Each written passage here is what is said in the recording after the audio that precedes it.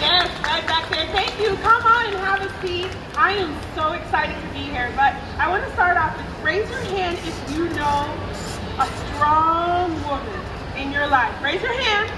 We all know a strong woman, right? Now keep your hand raised if you know a woman who has had or has breast cancer. Now keep your hand raised if you had an opportunity to help that woman, you help her in any way, shape, or form? amazing. All of us know someone in our lives that have been impacted by cancer or Alzheimer's or even children that are going through different things in their lives. My name is Alicia Sanchez and I am the founder of the Dear God Are We There Yet nonprofit. We literally are like a matchmaker for causes and communities and bring them together for volunteering. Now I want to talk about this book in a little bit, but I want to show you a project that's really near dear to my heart now we walk around and we were, we're shopping, we're having fun, and we don't sometimes think about the bigger picture in our lives because we're, if it doesn't happen to us, we might not know what's going on in the world. So a couple of years ago, when I was diagnosed, way a couple of years ago, I had a tribe of women that helped me. And you're probably thinking, did they help me with money? No. Did they help me with anything physical? No. They gave me their time. They gave me their sitting, their prayers. They gave me their calls. They gave me uplifting messages. And that was the best gift given to me. Why? Because I stand here and I'm sharing with you that craft, which is time, create change. So I want to talk about our book and what's inside of our book and the magic of everything in our book. There's over 40 projects in our book that you can make to donate. Now, a lot of you said, well, I don't have time. I, I don't have time. I don't craft. I don't sew.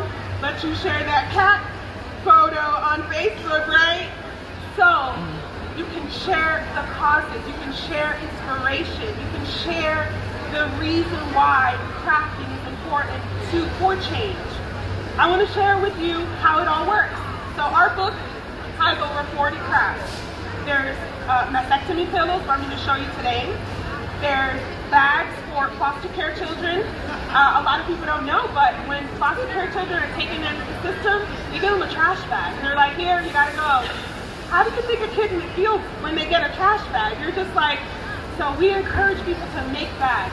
There's churches, communities, nurseries, nursing centers, uh, libraries that are using this book and saying, let's get kids involved. Let's show them about how they can use these projects for social good. So I'm going to show you some projects before we go into the pillow. You probably think this is just a regular hat, right? It's a sun hat.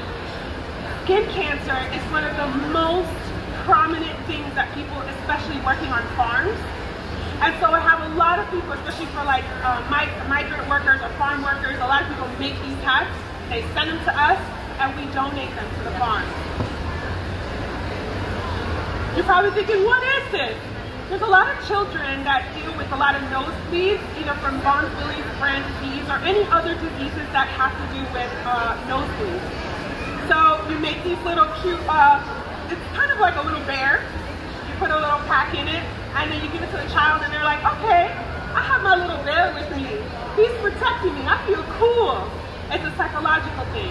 And giving these to children in the hospital, at children's hospitals, they will take all kinds of donations. This is just one project. Our beautiful dog, if you're a dog lover, raise your hand. Like, there's so many dogs in the world that need love. But before they're adopted, they're just in their little, you know, they're just sitting there like, what do I do now? They need stimulation, which stimulation helps them be happy and get them going. So we have these little uh, stuffed animals that people can make. Kids can make these. And then you can donate them to uh, these pet shelters. And they will take them with arms wide open to give it to the, to the doggies. These are just some examples. Some people don't know, but there's a lot of women that cannot afford um, menstrual um, pads. They, they cannot afford uh, diapers, cloth diapers. So you can make these. You can send it to us. We will pay the postage because we are a nonprofit. And we'll send them to Haiti. We'll send them to Dominican Republic, uh, which is my country that I, I am from, Dominican Republic. We will send them to different parts of Africa. We will send them to even places right here in the U.S. where women cannot afford or they're allergic to them. And here are just some other projects for people who have to take lots of medication or even with uh, children who have to take insulin or they have to take certain things that they kind of feel shy, like walking around with all this medical, all this stuff. There's like privacy packs that they can just put it in, you give it to them. Um, the homeless community, um, I have a lot of churches that they actually get all their kids together and they make all these projects and then they just pass them out uh, in homeless uh, communities and they'll give them like um, Tylenol and Advil. They go to the dollar store and they do like this little care package and they keep them in the back of their car. You know, it's teaching children about social good. It's teaching children about kindness. And for, for those of you that are, are with faith and you believe in God, that's what the word teaches, right? Is that not what it teaches? You know, it teaches for you to not just say that you're going to do something, but do it without people saying, thank you. Without people saying, yay. I always say, tell people, do social good for the good. Not for Instagram, not for Facebook. Do it because it's in your heart. Because that's what keeps reciprocity going. And that's what the nonprofit's about. Dear God, are we there yet? I opened the nonprofit saying, God, are we there yet? Like, when is this going to happen? When am I going to get better? When is this? But there is right now, at this moment. It's now where you're here with me, giving me your time, listening. And even if you do get a book or don't get a book, at least you'll remember that the world is bigger than us, just alone. And that we don't have to wait for catastrophe or another COVID or whatever to say, let's go make some masks or let's go make some hats or I don't know someone, uh, I don't know, I don't know how to sew, but I know someone who can. Because that is what our world needs. So let me share with you the most important project. I had a hospital in Florida say to me that the number one thing when a woman gets a mastectomy is they go into depression. Why do you think that? Because their life is completely changed. Some people might say, well, it's just, you know, it's just like, oh, get over it. But it's not just that it's a whole psychological thing that they're going through. So you get a, the, the pattern from the book, you download the pattern, it comes like this. And all you, you can literally do hand sewing it too, and it looks like a little heart, like this. You can sew it by hand, or you can sew it on a machine. And then it looks like this. And they put it under here for support. And they can actually put a shawl over it and walk around while they're, you know, um, in that that process of healing. Uh, they can do it while they're watching TV. They can watch TV with it. They feel that their, their actual arm is not touching where they have incisions.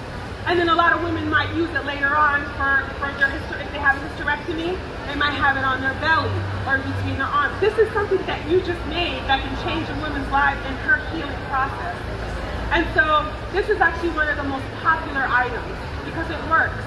Uh, you usually have a little strap on here so that they can actually just hold on to it, go to the airport if they have to sit. Some people just go like this too, but the whole point is for the mastectomy, uh, and it's all about healing. Another project I want to show you on here is uh, for kids to get them off of the to get them off of the online and sometimes on the tablet. We have little pouches like this where they can actually fold them and put their uh, pencils.